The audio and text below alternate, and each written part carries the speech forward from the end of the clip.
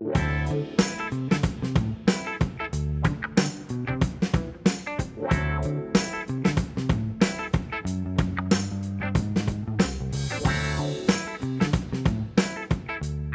nombre es Lilian Monestier, les doy la bienvenida a esta mesa en relación al tema Desafíos para un desarrollo institucional de ICEF, vínculos interinstitucionales y redes académicas, es lo que nos convoca hoy. Eh, como les comentaba, mi nombre es Lilian Monestier, estoy encargada de la unidad de proyectos, convenios y cooperación desde el año 2018. Una pregunta, Eh, ¿puedes hablar un poquito más alto? Porque Sí, no te escucho mucho. cómo no, cómo no. Eh, estoy de- desde el 2018 en la unidad de proyectos, convenios y cooperación de ICEF. Me acompañan en esta prestigiosa mesa Cecilia Fernández eh, y Gonzalo Vichy Gianotti. Les cuento que Cecilia Fernández es docente de la Universidad de la Facultad de Química desde 1993. Se desempeña como profesora agregada de inmunología en el Departamento de Biociencias, si querés no pongo la fecha, cargo que ocupó en régimen de dedicación total hasta el 2015. Obtuvo en la UDELAR el título químico farmacéutico y realizó un doctorado en la Universidad de Cambridge, Reino Unido, que culminó en 1993. Desarrolla su investigación en el área de bioquímica y la biología molecular de parásitos y desde el 2015 está a cargo del prorrectorado de investigación. Bueno, Gonzalo, docente e investigador del Instituto Escuela Nacional de Bellas Artes, asistente académico del Instituto EMBA y del área social y artística, representante del área social y artística en la Comisión de Asuntos Internacionales, delegado asesor del rector en la Asociación de Universidades Grupo Montevideo. Eh, bueno, también nos acompaña Pía ayudándonos con la lengua de señas en este encuentro. Como ustedes ya saben, este es el tercer encuentro dentro de una serie de charlas, seis charlas, en el marco de un proceso de elaboración del Plan de Desarrollo Institucional de ICEF 2021-2025. Este es un plan de desarrollo que implica un pensar juntos a la institución, eh, muchas veces las instituciones en la vorágine diaria no, no nos damos tiempo para pensarnos y para ver qué rumbo queremos tomar.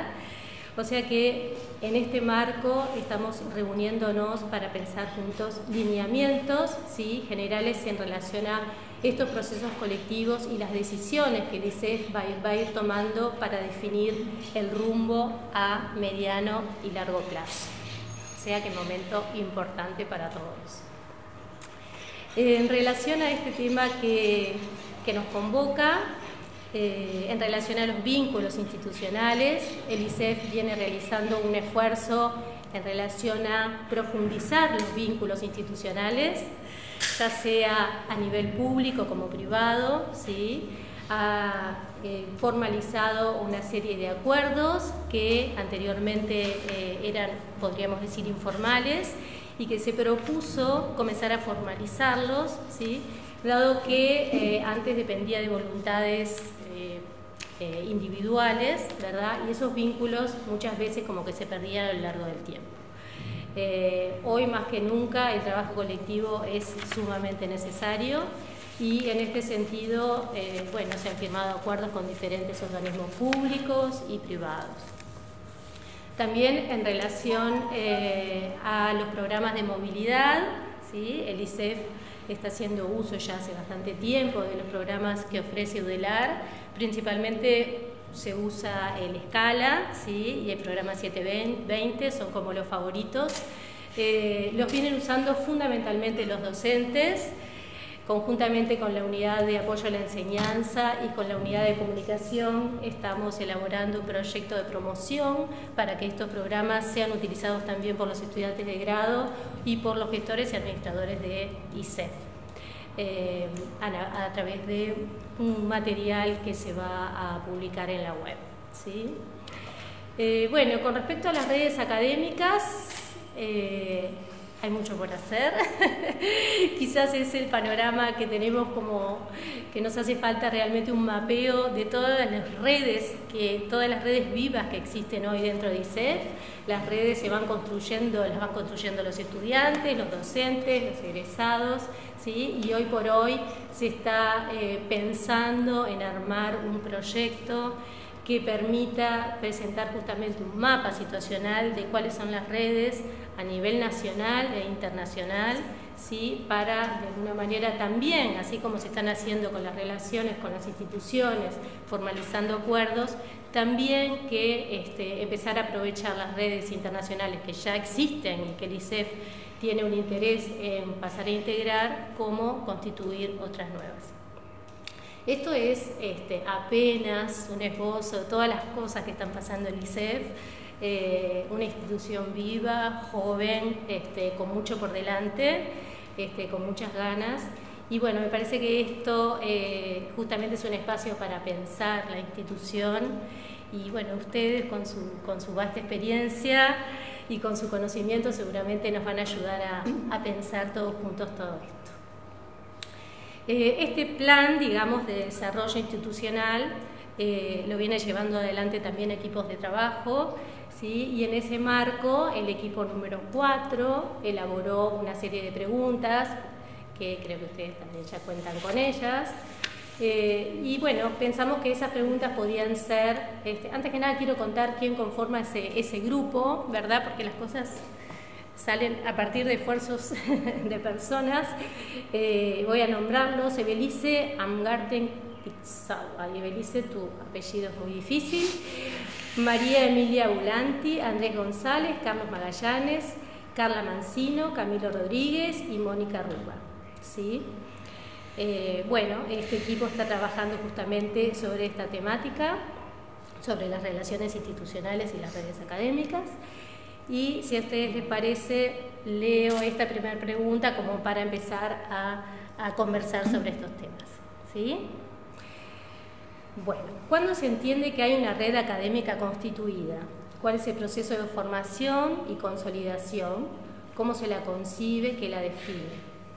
En ICEF hay varias relaciones con redes, pero informales, ¿sí? ¿Y cómo se las debe formalizar? Esta es la pregunta abierta. Usted, prorector. ¿Qué bueno, buenas tardes y sobre, primero que nada, muchas gracias por, por la invitación. Yo la verdad que lo, más que podemos hacer, creo, y me parece que Gonzalo va a estar de acuerdo, en eso me animo a hablar por los dos, es sobre todo conversar con ustedes y pensar juntos, porque lo primero de todo es que en esto de verdad creo que no hay recetas y, cualquiera que las dé, yo creo que está mintiendo, pero o bueno, o puede, o puede armarse un marco este, en el que le interesa moverse, o sea, eso siempre es válido, que alguien diga, bueno, una red es tal cosa, está de acuerdo a, quien la definió con determinada finalidad, que, haya acuerdo con eso, pero este, con toda honestidad me parece que cualquiera de las actividades académicas que puede tener una, institución como el ICEF o, cualquiera de los servicios de la universidad. Ahí además depende de, depende de la unidad de análisis que tomemos, ¿no? porque podemos concebir redes de distinto tipo, redes de universidades, redes de facultades, redes de departamentos académicos dentro de un mismo, yo qué sé, o sea, en definitiva son, son vínculos entre distintas personas que a su vez pueden tener diferente rol dentro de la red en cuanto al nivel de formación, la, distribución de tareas que se hagan, yo qué sé, no estoy diciendo nada, nada que sea demasiado elaborado, pero lo que, lo que me parece que es como el mensaje más grande, eh, por lo menos cuando yo lo pienso esto, es que eh, para mí, como en todo, lo más importante es que lo que sea que uno está diciendo que existe sea genuino porque lo, peor que podemos hacer es armar una superestructura de redes que después sean vacías, o sea, como, como que, o que en definitiva te pregunte, bueno, tenés una red que nuclea todas estas universidades, bueno, pero decime qué hacen. Y cuando vos te pones a contar las cosas que hacen, en realidad lo que hay atrás es como un montón de casilleros completos que no tienen sustento, mejor que no tuvieras nada formalizado, porque es mucho peor armar algo como si que en realidad está vacío. Yo creo que ese es como, como el peligro más grande que hay, sobre todo con que yo la verdad que a las redes informales no les tengo miedo si funcionan, pero es verdad también, es verdad que bueno, que los procesos de madurez de las instituciones y yo qué sé, también este, requieren o involucran que algunas cosas se hagan en determinado marco. ¿no? Pero, eh, por ejemplo, una de las cosas que creo que, que preocupa a nivel de la universidad y que me parece que preocupa no solo a nivel de la nuestra, también a nivel de las facultades, es tener miles de convenios que en realidad están vacíos. Porque vos decís, bueno, al, amparo de ese convenio, ¿qué hizo la gente? Y de repente no hizo nada. Este, por otro lado, es verdad que a veces los convenios son instrumentos que es necesario suscribir para poder usar determinados instrumentos y capaz que eso es lo que marca más la necesidad de formalizar el vínculo y a veces de repente tampoco es por las mejores razones, pero bueno, este, está bien hacerlo, yo qué sé, está bien hacerlo este, y decir cuáles son los fines, no sé, pero creo que esa es una preocupación que hay en particular desde el Departamento de Convenios de la Universidad y desde el Servicio de Relaciones Internacionales, de no llenarnos de papeles que después atrás no tienen contenido. Y ahí tenemos un problema que pasa en esto y también en otras cosas, y que es que una cosa que, de la que tenemos que cuidarnos, las instituciones académicas todas, es de todos los procesos de contar que hay, las métricas, las métricas de lo que sea, porque también el asunto de la vinculación internacional es algo que, que da puntos y que aumenta el, el ranking. Entonces, claro, después como muchas veces todos los sistemas de distribución de recursos se hacen en función de eso, ahí tenemos que ser muy cuidadosos de realmente estar valorando lo que es genuino y de no armarnos nosotros mismos un sistema de, cosas truchas. A mí eso me da pánico en todo, en la cantidad de posgrados, de ofertas de posgrado, la cantidad de artículos, la cantidad de revistas, todo creo que lo que más vale poco y bien que mucho y vacío. Eso, por supuesto, siempre es mejor mucho y bien, obviamente.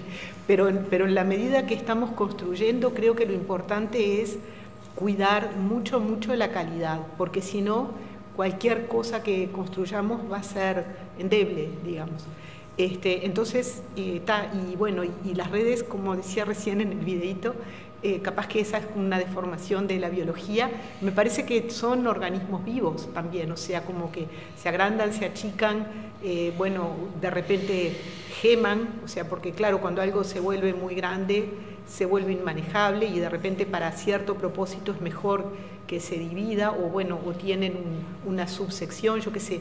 Y me parece que todo eso tiene que ser eh, bien abierto, o sea, y, de verdad, también en esto ocurre que muchas veces las redes se constituyen porque hay una convocatoria a algo, que se convoca una red de algo. El ejemplo más claro que tenemos nosotros, que hay un montón o varias en la universidad, son las redes con la cooperación española, las redes CITED, que algunas funcionan súper bien.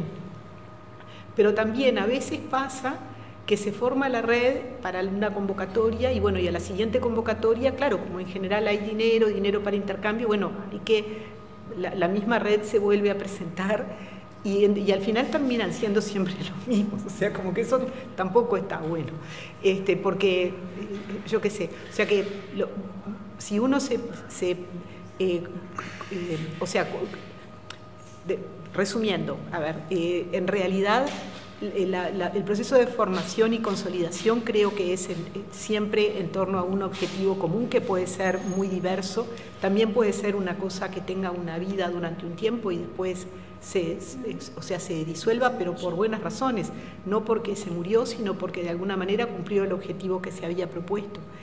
Y, este, y, el cómo se las concibe y qué las define, creo que eso sinceramente me, me parece que lo más honesto es decir que no hay reglas. Este, y como les decía recién, no, no, me asusta que sean informales, pero de repente sí está bueno en algún momento, sobre todo en un proceso de consolidación institucional, está bien parar y decir, bueno, a ver, ¿qué tenemos? ¿Con quién tenemos vínculos? ¿Para qué tenemos vínculos? ¿Qué nos aportan esos vínculos? Un poco, eh, eso, eso creo que está bien, y de vuelta, está bien hacerlo en los distintos niveles de y, paro por acá y te dejo, Gonzalo, porque capaz que ya estoy volviéndome circular. Estamos en, estamos en, la, en la misma línea. Eh, yo comparto con, con Cecilia. Primero que nada, gracias por, por, invitarnos a formar parte de un proceso que yo entiendo que, que, es muy rico institucionalmente, con muchos desafíos y en un momento que además multiplica los desafíos institucionalmente y, y a nivel del de país. Eh, pero yo comparto lo que decía Cecilia, lo peor que podemos hacer es decir, bueno, para tener una red académica hay que hacer esto dentro de esta universidad que tenemos, que es una universidad que creo que tampoco nos podemos abstraer de eso, que es muy variada, que hay muchas formas de existir dentro de la universidad. Yo vengo de un servicio que es, ya es raro, eh, Bellas Artes, eh, en camino a una facultad de artes que hace muchos años que venimos hablando, que, tratamos, que estamos tratando de constituirnos en una especie de red académica, digamos, en una institución académica que integre disciplinas que hoy no están dentro de la universidad, que a, a, trata de amalgamar instituciones que hace muchos años que están, con tradiciones muy diferentes, con todo lo que eso conlleva. ¿no? Entonces, lo peor que podría hacer es decir, bueno, la fórmula para que exista una red académica, o, o, tiene que existir esto para que después se diga hay una red académica. A mí me parece que el ejercicio que, Cecilia planteaba me parece que está bueno en el sentido de pensar para qué. ¿Para qué necesitamos tener una red académica? ¿Para qué necesitamos integrar o constituir o formar parte o impulsar una red académica?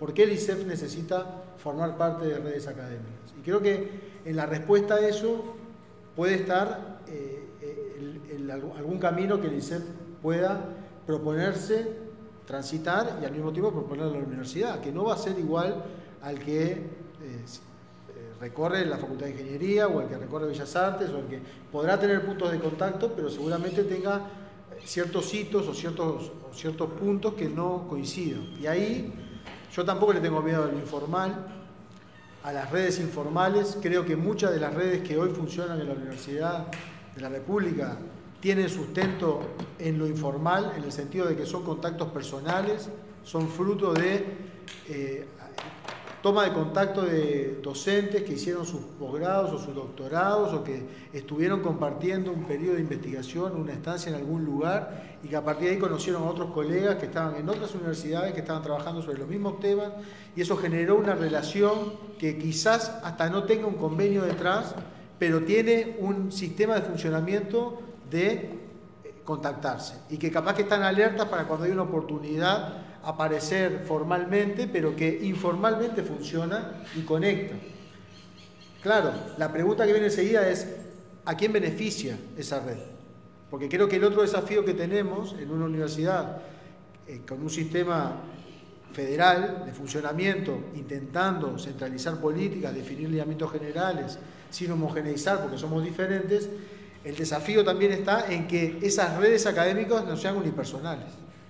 Porque creo que el, problema mayor que tenemos es que tenemos muchos vínculos académicos que son a veces unipersonales. Entonces, se termina transformando en, una, en un engranaje, no estoy acusando a nadie en particular, me estoy posicionando yo incluso dentro de eso, a través de algunas experiencias, pero un engranaje de un sistema que responde a una lógica que no es de, de la Universidad República, que es a nivel mundial, de indicadores, de índices, de el deber ser para llegar a ser investigador o para el pertenecer a un grupo de investigación o pertenecer a una red académica, de completar ciertos índices, de tener cierta cantidad de. Entonces uno lo que hace en una, eh, en una universidad con 12.000 docentes, con 140.000 estudiantes, con muy pocos docentes de esos 12.000 dedicados exclusivamente a la universidad, es tratar de hacer una red académica de, que, me permita caer en algún lado si me caigo, yo. Ahora, eso que yo me aseguro tener con un, una red de contactos, ¿impacta en la enseñanza de grado? ¿Impacta en los equipos de investigación que tengo trabajando en la institución donde formo equipos con otros docentes? ¿Impacta en la proyección institucional que puede tener? Porque si eso no impacta, va a funcionar muy bien para el individuo, sujeto, docente, que es un investigador, que, que, quizás tiene una trayectoria muy reconocida y capaz que a nivel nacional hasta tenemos nombres y apellidos de investigadores que son reconocidos a nivel mundial, que, es interesante ver qué impacto tiene eso en equipos de investigación propios de la Universidad de la República que están trabajando en generar masa crítica propia, local, y que al mismo tiempo está formando gente, porque el desafío que tenemos nosotros es no, es estar nosotros, es formar a quienes ingresan a la universidad. Entonces, eh, en esa dinámica, ¿no? Entonces yo creo que la pregunta que quizás está buena para empezar es ¿para qué tener las redes académicas? Si es para cumplir con el ítem, eh, pertenezco a la universidad y estoy dentro de la discusión en estos ítems, es válido y tiene un fin y un principio y un final, si es para impactar en, las generaciones que van ingresando, en los equipos docentes, en, el territorio, en abordaje de temas que necesitan y requieren una mirada o interdisciplinaria o interinstitucional, etcétera, va a tener otro principio y otro final. Si es para que sea personal, tiene un principio y un final muy cortito, y así delimitando cada uno de los temas. Yo creo que el desafío es pensarnos en en los problemas que tenemos dentro de esta universidad y en relación a las otras instituciones que tenemos, porque también hay un sistema nacional de investigación, también hay unos, fondos concursables a los que tenemos que aspirar, también hay un presupuesto universitario al que tenemos que disputar, entonces muchas veces el orden de las discusiones eh, termina eh, limitando la posibilidad de pensar más allá de lo inmediato. Que comentan Sí, sí. ¿Hay alguien que quiere hacer algún comentario en relación a esto? La, pregunta, la pregunta central justamente es esto, ¿para qué una red? Yo particularmente me voy a concentrar para generar conocimiento. Este, claro, este, tener cuatro redes no en ningún lado. Tener cuatro papers sí, bueno, entonces tener redes para valorar los procesos y no para valorar los productos. A ver, ¿por dónde voy? Este, me voy a concentrar en redes de, investigación, ¿correcto? Este, generar redes para avanzar, hacer avanzar el conocimiento o para que estuve repasando algunas cosas este, que había visto hace un tiempo y justamente eh, la idea es tratar de encontrar, darle valor a las redes. ¿Cómo darle valor a las redes? para que nos puntúen, ¿no? para decir, participar en la red tiene un valor. Entonces, este, hace un tiempo, los investigadores brasileños vienen trabajando hace rato con esto, este, trataban de evaluar redes. Este, esa era la idea, tratar de, evaluar redes para que efectivamente participar, estar en una red tenga Entonces, como hoy planteábamos, bueno, ¿qué red tenemos en el ICEF? Bueno, ¿cómo, cómo objetivamos eso? De, algún lado tenemos que saber, y no me sirve decir yo estoy en una red. No, busquemos dónde podemos darnos cuenta que tenemos una red. Eh, ¿Cuáles son los elementos objetivos que tenemos? Si todos estuviéramos en el Sistema Nacional de Investigadores, a través de nuestro CBUI, pero también a través de los grupos de y ahí como que tenemos CBSUI donde podemos sacar los datos, yo publico con otro y entonces voy viendo que se, va conformando la red, pero también la actividad de los grupos de investigación. En realidad acá tenemos un demo, este, en el ICEF apenas empezamos este, el año pasado a crear los grupos de investigación, a saber si son grupos de investigación, y tenemos la referencia de los grupos de investigación de ese ciclo. Pero en realidad es una, es un rol que alguna vez alguien llenó para poder participar en un proyecto y después no se sabe si se volvió a llenar. Entonces no puedo objetivar si efectivamente, o los elementos que tengo para objetivar la existencia de la red, este, no son muy confiables. Eh, de hecho, entonces deberíamos empezar a tener elementos confiables. Podría ser el CBUI si todos estuviéramos, y a partir de ahí sería una. Pero no todos estamos en el CBUI, pero en todo caso la institución sí debería tener el CV de todos sus docentes, de todos sus investigadores, y ahí podríamos rastrear eso. Ahí dice tenemos un eh, tendríamos que tener efectivamente el, CBUI de todos. ¿no? Y la, la, información que obtenemos de los grupos de investigación es muy fragmentada, limitada, no es sistemática, ¿no? Entonces, necesitamos esas dos cosas.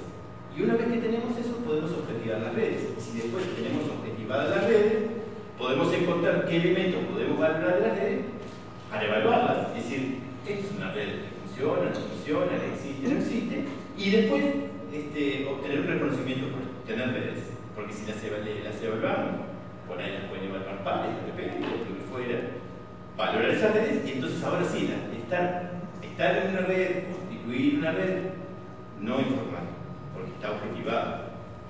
No es informal, ya es este, eh, podemos rastrear si, si tenemos autoría, si no tenemos coautoría, decir, bueno, esta red funciona o, funcionó de repente, ¿no? Nació, creció, este, se desarrolló y capaz que se murió o se reinventó pero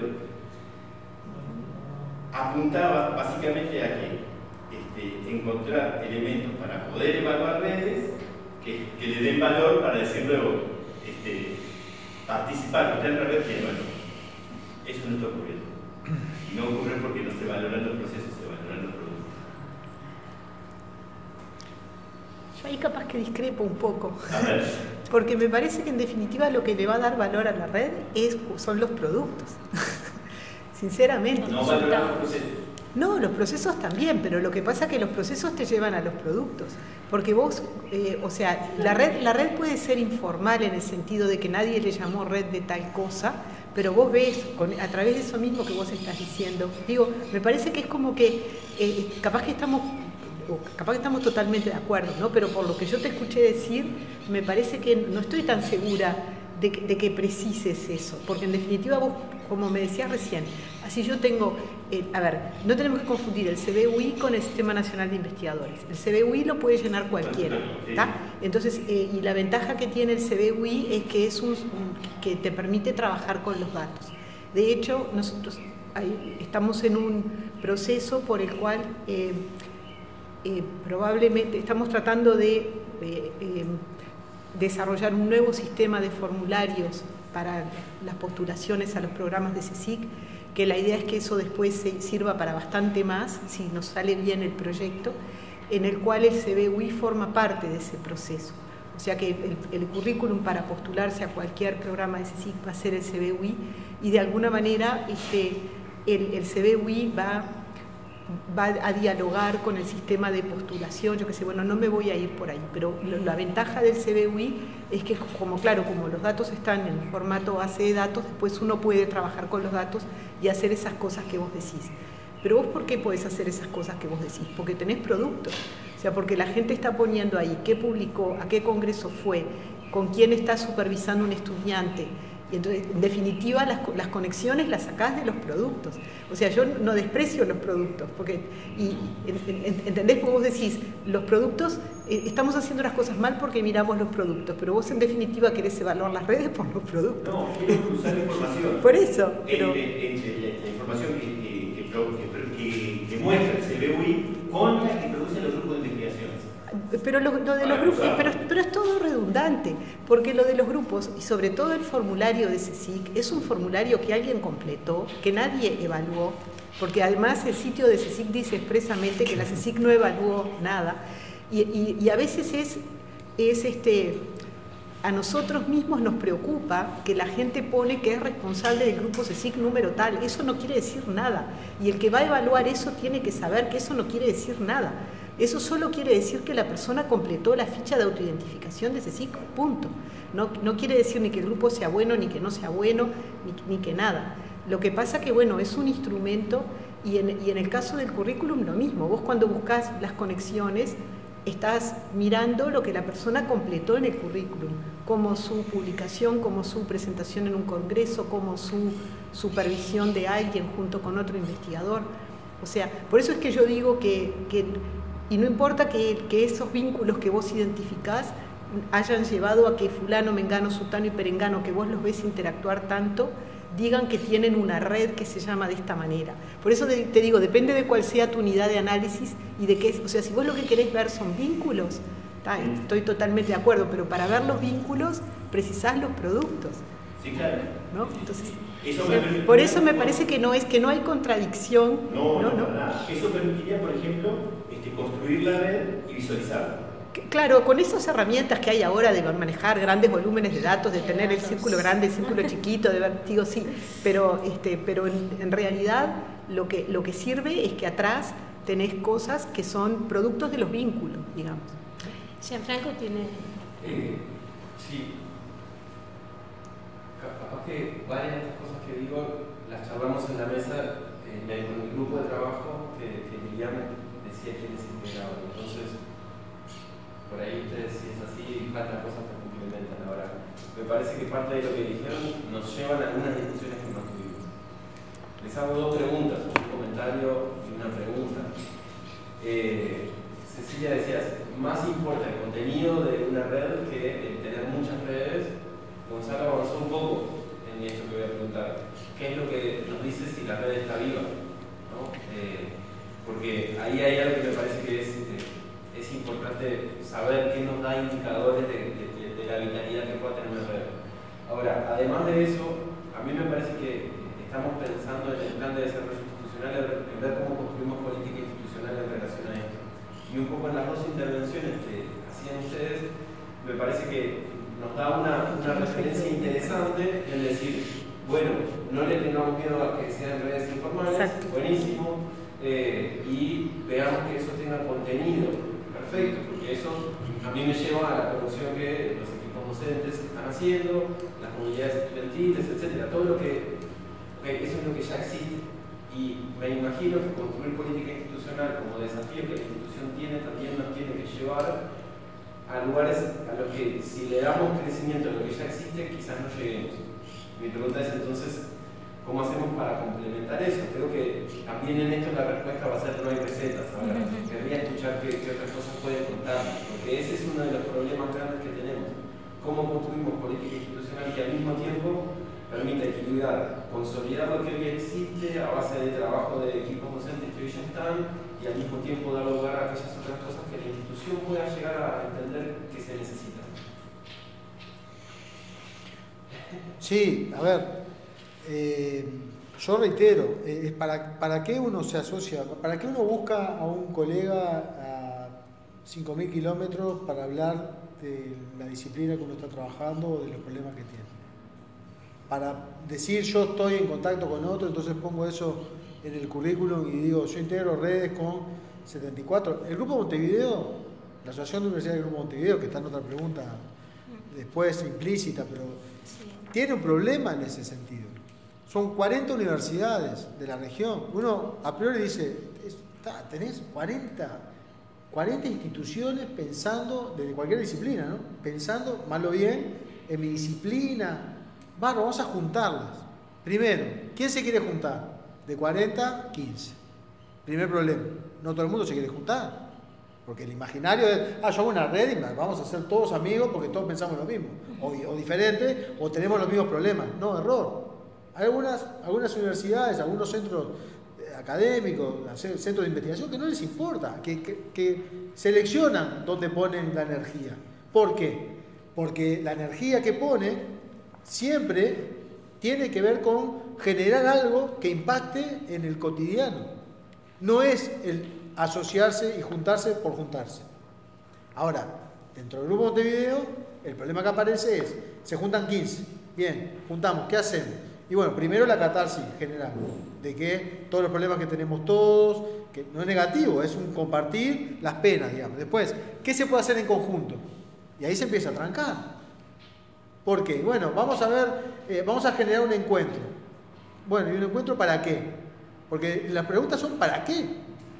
Porque si es hacer, un evento, puede servir en una dimensión, pero se termina ahí. Si es juntarse para identificar problemáticas comunes que podamos abordar en un dispositivo, sea proyecto, sea seminario, sea publicación, bueno, capaz que empieza a ser más interesante.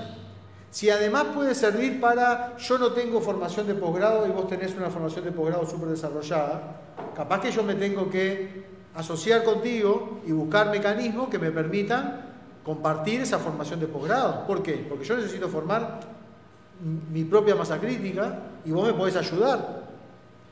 Entonces ahí ya se puede dar otro paso, y ahí Cecilia sabe, de, bueno, pensar Pensemos en, cuando ya tenés masa crítica y el otro tiene masa crítica, en un posgrado común, en un título con doble titulación, en un posgrado con doble titulación, que es como...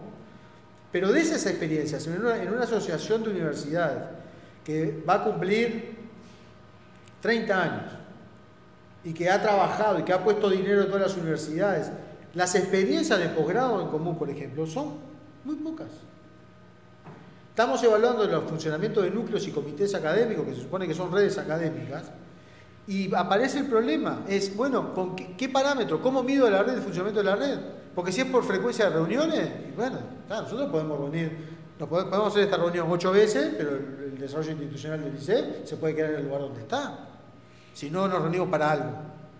Entonces, después, ¿cuál es? ¿Vamos a hacer una publicación en común? Bueno, capaz que sí. Ahora, ¿yo tengo para aportar a la, publicación? Si no tengo, capaz que tengo que ver cómo empiezo a investigar o trabajar con otro para poder yo aportar a la publicación. Pero eso no con el horizonte de que después lo pueda poner y me lo midan, sino para consolidarme yo, porque lo otro va a venir después. O sea, yo creo, y de vuelta voy a Bellas Artes porque hasta hace un, tiempo, 10, 15, 20 años, la dimensión de investigación, por ejemplo, era una dimensión que estaba muy asociada a, bueno, yo soy artista, yo soy, yo soy la investigación. Lo que yo hago es investigación. No, pero a ver, ¿cómo lo contás? ¿Cómo lo... No, mi obra es la investigación. Bueno, vamos a ver, capaz que hay alguna dimensión que involucra eso, pero hay que desarrollar otras cosas. La estrategia no fue muy diferente de esto que estoy hablando. Bueno, ¿quién está en la región que nos puede ayudar? ¿Quién está extra región que nos puede ayudar? Tenemos que formar gente, eh, tiene, tiene que haber gente que tenga estudios de maestría y doctorado en las temáticas que nos interesa desarrollar, para después poder asociarnos, para poder después generar otras cosas y hacer un plan de formación de recursos humanos, de plantel docente, que permita después, por ejemplo, una cosa tan eh, simple como tutorizar trabajos de tesis. Que nosotros hasta el día de hoy tenemos problemas en una maestría aprobada de masa crítica dentro de la facultad, del Instituto de Escuela Nacional de Bellas Artes, que somos igual que el ICEF, somos un instituto, eh, somos asimilados a la facultad. ¿Eh? Bueno, pero en la, en la nomenclatura, somos, nosotros tenemos participación en el CDC, no tenemos voto.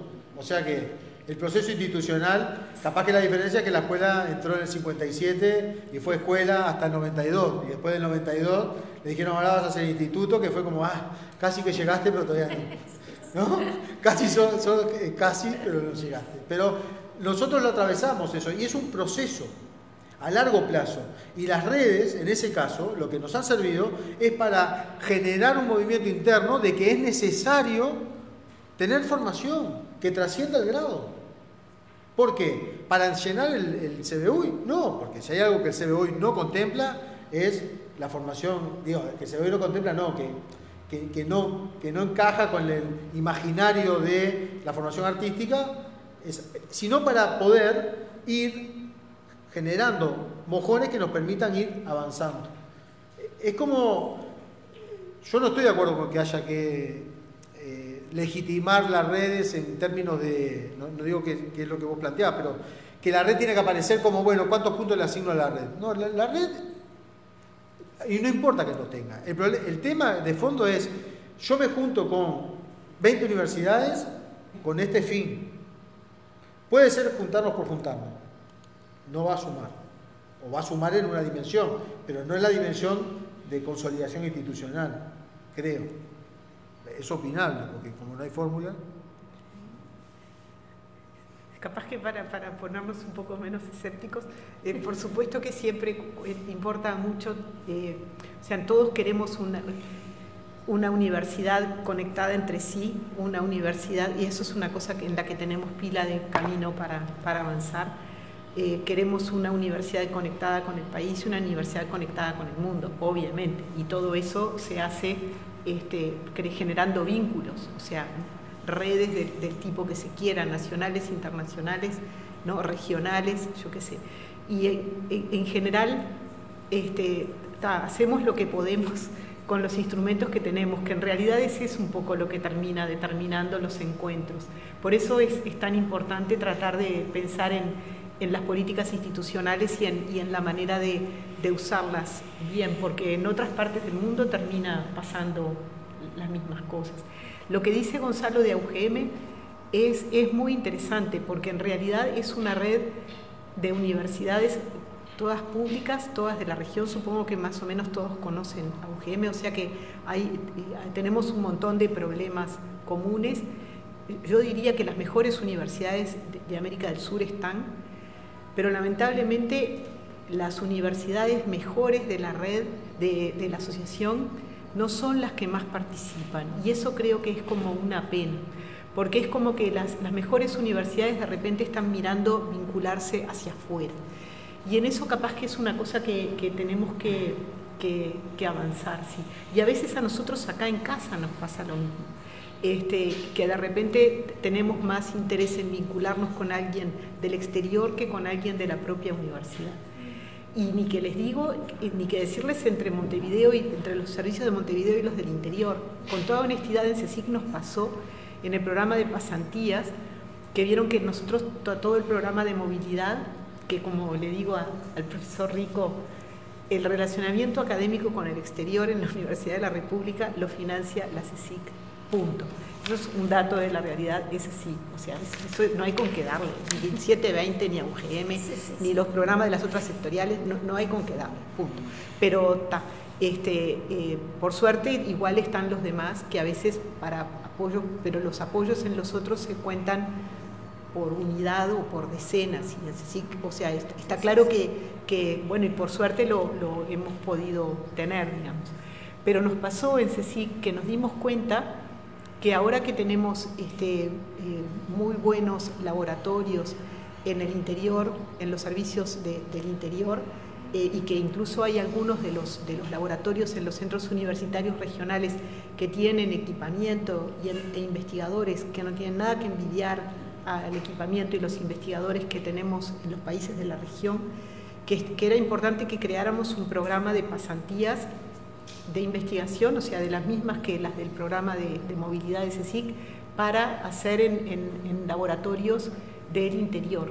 Porque de repente alguien quiere hacer una medida, yo qué sé, en un supermicroscopio o en un equipo XX y nos pide dinero para ir a San Pablo o a Córdoba o yo qué sé, o a una Europa y de repente puede hacer lo mismo.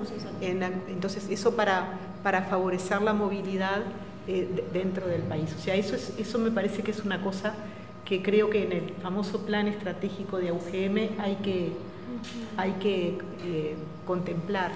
Que, eh, y eso, porque eso también, bueno, no me quiero ir, pero, pero está claro que, que en definitiva la, la conexión de la, de, de la universidad a la interna, la conexión de la universidad con el medio y la conexión de la universidad con el mundo, todo eso se da a través de redes. O sea, esa es otra dimensión para evaluar en las redes dónde están los protagonistas, si están todos acá, si están en la región, si están en el mundo, yo qué sé. Pero es verdad que tener los datos para chivear con los datos está bueno. Pero, este, pero lo, que, lo más importante es que, ¿y cómo están vivas? Bueno, están vivas si, si uno ve que se siguen sumando cosas, ¿no? que la gente sigue organizando cursos juntas, eh, armando reuniones, dirigiendo gente, teniendo artículos, armando cursos, no sé, como que, porque además en, re, en, general esas cosas ocurren como todas juntas, en la medida que el asunto se pone en marcha. Está, bueno, está, sí, creo yo que... estaba pensando una pequeña diferencia entre que sean, eh, que, que no sean formales es una cosa, pero que sean invisibles es otra, ¿verdad? O sea, no tienen por qué ser formales, pero sí está bueno que se visibilicen y que el ICEF puntualmente sea consciente de cuáles son los vínculos a través de las redes que están, que, que, que están funcionando y que están vivas, como planteabas, ¿no? Porque el que sean visibles hace que se democraticen, se puedan usar, haya mayores haya intercambio de información, se potencien. Ahí va. Eso que vos decís siempre es fundamental, el asunto de la, la generosidad académica, por decirlo de alguna manera. Este, eso, es, eso es fundamental para cualquier proceso de construcción, o sea, cuán, cuán este, sí, y eso, eso yo creo que es una de las cosas que sería muy importante que valoráramos en lo, en lo que es el aporte a la construcción de, de un colectivo, en el nivel que sea, porque eso de vuelta uno lo ve en distintos niveles, en, en en un, en un, departamento lo ve como es la persona con respecto a su grupo, con respecto al resto del departamento. En el consejo de la facultad, cómo se porta el departamento con los otros departamentos. En el CS, cómo se porta la facultad con las otras facultades. Es como tremendo, tremendo. Pero bueno.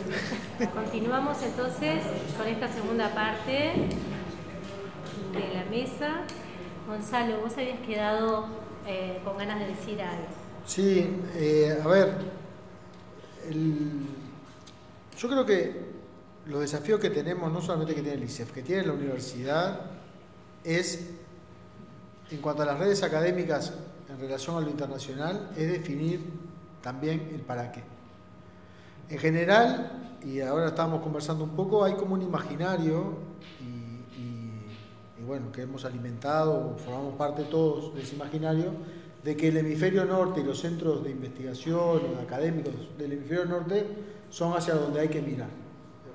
Entonces, hemos ido a España a hacer los posgrados, eh, yo personalmente lo he hecho, o sea que le- levanto la mano, soy culpable, pero eh, siempre postergando una mirada hacia el, hacia el barrio, ¿no? Y hablando de, del Grupo Montevideo y de las redes del Grupo Montevideo, o, tomando al Grupo Montevideo como una red, eh, hay universidades muy importantes y, muy fuertes que ofrecen muchas veces un nivel de formación en posgrado que es igual o en algunos casos quizás mejor en el sentido de proximidad que lo que pueden ofertar eh, una universidad en Europa. Entonces, si a eso nosotros agregamos que el imaginario que se fue alimentando siempre fue porque en Europa había dinero, que ayudaba a la cooperación internacional, entonces eso permitía generar redes que si no nosotros sin dinero no podíamos. En los últimos 20 años esa ecuación de alguna manera no es que Europa no tenga plata, ha redireccionado sus fondos. En el último llamado a red, a, proyectos Erasmus, Europa destinó casi un 10% de, de proyectos que involucran a América Latina. El resto están preocupados por las situaciones que tienen en, África, las situaciones que tienen en, Europa extracomunitaria, en, Asia. Y eso también reconfigura un mirar hacia las universidades que están más cercanas, que compartimos problemas, que compartimos muchas veces historias institucionales y que hemos algunas veces pasado por encima. Ese problema también lo tienen las universidades grandes de la región, lo tiene la UBA, la tiene la UPI, lo tienen muchas universidades que se han proyectado, algunas veces por estrategias país, Brasil tuvo una estrategia en su momento de formar a sus recursos humanos en Brasil, entonces mandaba a los docentes, los formaba y volvía, que fueron quienes después fundaron o impulsaron los programas de posgrado, doctorado, maestría que hoy tiene Brasil, más toda la política universitaria que se aplicó. Pero nosotros a nivel universidad y, en cada uno de los servicios universitarios nos debemos una discusión que no hemos saldado, que no hemos dado. Cecilia decía ahora, y, yo lo, comparto, lo reafirmo y los números hablan, la cooperación internacional de la Universidad de la República, los vínculos académicos internacionales de la Universidad de la República, casi que no pasan por el Servicio de Relaciones Internacionales, pasan por la CECIC, o pasan por la CECIC más la sectorial de enseñanza, más la Comisión Coordinadora del Interior, que impulsa programas de pasantías en el exterior, congresos en el exterior, etc. Y ahí hay una política implícita que de alguna manera, según esto personal, es, bueno, que cada uno se maneje, que cada uno se maneje en el sentido de los docentes buscan sus redes, los grupos buscan sus redes, y bueno, y las facultades van presentándose a las herramientas que se tienen. Yo creo que la universidad tiene un, debe darse una discusión, capaz que no es el mejor momento ahora, pero la vamos a tener que dar, de lo que estamos invirtiendo en construcción de redes académicas, sean formales o informales, ¿para qué? No todo, no con el afán de controlar todo, pero sí de hacer política, de decir, bueno, la política va a ser eh, formar recursos humanos para que asuman, eh, para que cada centro universitario, cada facultad, instituto o escuela tenga una, una oferta de posgrado legítima, local, con recursos humanos locales. Podría ser una línea. Capaz que la respuesta es, bueno, pero ya casi el 80 lo tiene. Bueno, pero hay un 20 que no. Entonces, capaz que puede haber una línea política de impulso a eso. O impulsar la constitución de redes que reflejen trabajos de acumulación. Ahora, no ha habido, ni en el rectorado anterior, ni, ni aún se han dado los tiempos en este, en este periodo rectoral, de dar una discusión en el Consejo Directivo Central acerca de a dónde nos queremos vincular y para qué. ¿Nos queremos vincular con España? Porque España nos gusta, porque es lindo ir a España. Entonces, tenemos que acompañar una política de internacionalización con universidades españolas, porque aparte hablan español, entonces es más fácil. O tiene que ser la región Mercosur, o tiene que ser eh, Estados Unidos, o tiene que ser Asia, porque también han aparecido. Las discusiones en el, grupo Montevideo de cómo asociar una red con otras redes tienen esta discusión. La discusión es, vamos a asociarnos con Asia, porque en Asia hay un impulso y hay qué? Fondos. Entonces, si esa es la lógica de la discusión, está bien, va a conducir a ir a buscar fondos. No va a conducir a fortalecer determinados espacios en función de una política. Va a seguramente generar proyectos donde viajen grupos de a veces no personas vinculadas a lo académico exclusivamente, sino vinculados a la Secretaría de Relaciones Internacionales. No es el caso de Uruguay, pero a nivel del mundo, la Secretaría de Relaciones Internacionales muchas veces generan proyectos para participar las secretarías como secretarías en los proyectos. Entonces, esa no es la realidad de Uruguay, pero participamos en un complejo de ese tipo. Entonces, la pregunta de fondo es, ¿para qué? ¿Y a dónde? Porque capaz que la universidad tiene que decir, bueno, en este periodo quinquenal de eh, austeridad republicana in extremis, sin incremento presupuestal, solamente para los de T y el interior, lo que tenemos que hacer es concentrarnos en el patio. Y entonces decir, bueno, vamos a trabajar con las universidades brasileñas que podamos, porque además hay problemas asociados a la coyuntura política puntual, o con las argentinas, o con las chilenas. Esa discusión la universidad no la ha dado. Yo participo eh, en lo que era la CRICRI, ahora es la CAI y el futuro será otra sigla con C, pero nunca de los proyectos que surgieron desde esos ámbitos al Consejo Directivo Central, logramos generar la discusión en un Consejo Directivo Central de, bueno, la Universidad República, ¿a dónde va a mirar? No para homogeneizar, sino para decir, bueno, lo poco que tenemos, o de todo lo que tenemos, de los 80, de los 80 millones, que, de los 70 millones que destinó la CECI y los 16 millones que destinó el Servicio de Relaciones Internacionales, de ese dinero, ¿cuánto vamos a destinar a hacer política en relación a un lugar geográfico y en relación a una línea de desarrollo académico? Que es lo que me parece es el desafío de, de constituir. Es interesante que esas mismas preguntas se está haciendo ISEF también Ahí, eh, internamente. eh, eh, justamente centrado en este tema, porque con el grupo lo, lo conversamos cuando este, planteando este tema, ensayando este tema, en el grupo se planteó en, este, qué va a pasar en un contexto de restricción. Porque en realidad la universidad va a tener, va a tener un sistema, este, un- una situación de restricción. ¿no? Este, y el patio parece que está también restringido. Bueno, está Por lo complicado. tanto, cuando me preguntaron a mí, yo dije, miren, hay que ir con los libros, los buenos y los ricos. Hay que tratar de buscar donde, están los- donde haya fondos que, era- que- que se pueden agarrar, ¿no? Seguramente lugares poco este, apetitosos, no, porque este, poco amigables capaz, ¿no? Por ejemplo, Alemania, por ejemplo, China. Este, en el caso de ICE, por ejemplo, la Secretaría de Deportes este, mandó deportistas a China, una bandada de gente, este, y alguna vez hablamos con algún docente acá en el instituto, este, yo ¿cómo mandan docentes a China?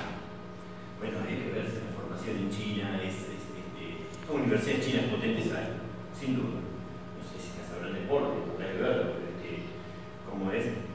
Pero como que en realidad la política es la necesidad, es decir, este, ya pasó esto, vamos a entendernos, crisis del 2007 esto también fue un desastre y hubo, que salir a buscar recursos afuera, probablemente en Europa era más fácil tratarlos en aquel momento, bueno, hoy en Europa capaz que también están, este, Uruguay cuenta con esta cuestión de que al, haber sido graduado, ¿no? Este, no es un país ya más en vías de desarrollo, entonces claro, no somos susceptibles de donación ni ese tipo de cosas por parte de Europa, pero evidentemente China sí.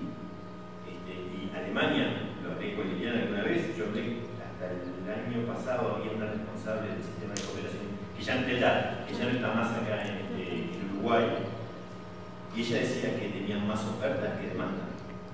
Claro, con Alemania la barrera es el idioma, Eh, claro, sí. porque las universidades alemanas son muy buenas, tan, tanta conciencia tienen de eso que incluso dan un curso de idioma a la gente que Exacto, va para allá.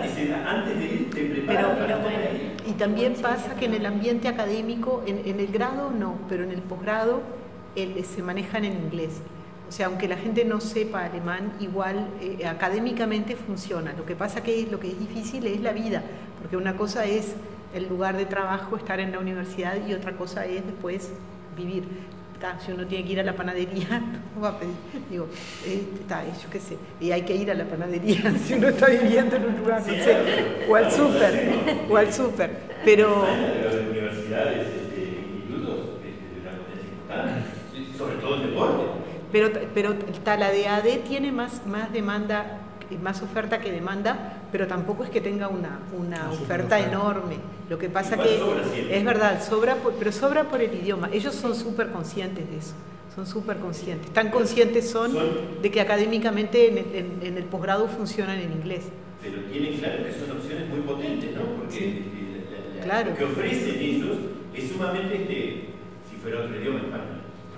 Este, sería sumamente apetitoso para, para mucha gente, porque además tampoco pretende que, que- este, que se quede, no quiere que se quede. ¿no? Este, sí, después los, los tienen en una red, sí, y este, que necesitamos que vengas un rato y que vayas, vengas y te vayas, este, pero bueno, como que una estrategia de salir a buscar donde están los fondos, por ejemplo Alemania, por ejemplo China, son lugares que, este, que donde eso es política y este, Pero yo creo que igual los vínculos los tenemos, o sea, los fondos siempre te, te facilitan y son los que hacen posible que algunas cosas ocurran, pero me parece que los vínculos los tenemos que tejer en función del interés académico, porque si no, si no nos, nos torcemos. Y bueno, y aunque tengamos restricciones, eh, yo qué sé, tal, el presupuesto de la CECIC lo vamos a te- seguir teniendo. Ahí el problema que tenemos es la cotización del dólar, que es Del fatal. No, no, es fatal. Bueno, la moneda extranjera, quiero decir, y el valor de nuestra moneda. Pero bueno, está. Y el, y el vínculo con España es muy fuerte por el idioma, pero también por el dinero. Porque ahí España funciona con Iberoamérica un poco como el mundo sajón funciona con sus excolonias.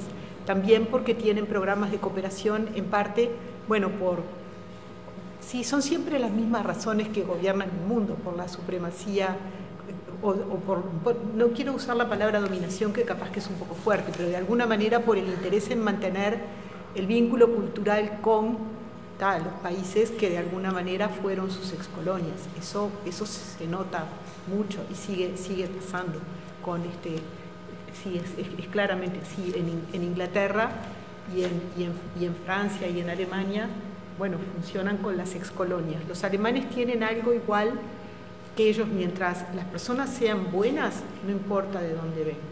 O sea, ellos tienen eso como las becas von Humboldt y eso, que no importa, es para los mejores del lugar que sean, yo qué sé. Este, ta. Pero bueno, son poquitas, son poquitas y hay que calificar para eso también, ¿no? O sea, obviamente. Pero bueno, no estamos diciendo nada que no sepan los demás. Vamos, eh, pero en definitiva, eh, esto, es, eso- esto es en realidad para, para el vínculo con el exterior.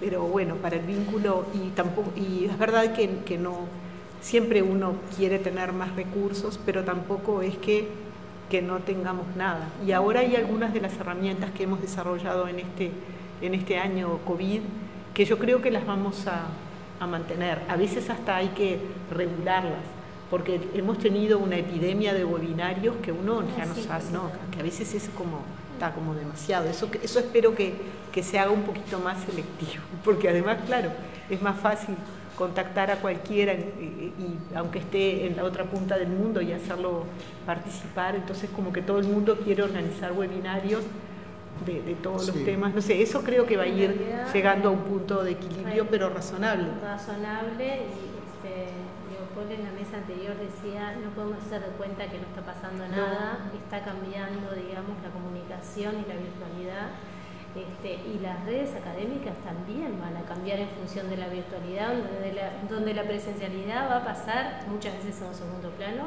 y podemos pensarlo como una oportunidad más que como un obstáculo.